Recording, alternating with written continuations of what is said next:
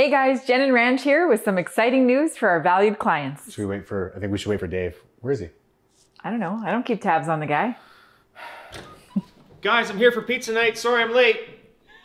Anyways, hey guys, for our valued clients, we've partnered up with Lepp Farm Market to give each of you two delicious pizza kits to make in the comfort of your own home. That's right, we've even got a video from Chef Nick to show you how they make the pizza at Lepp's.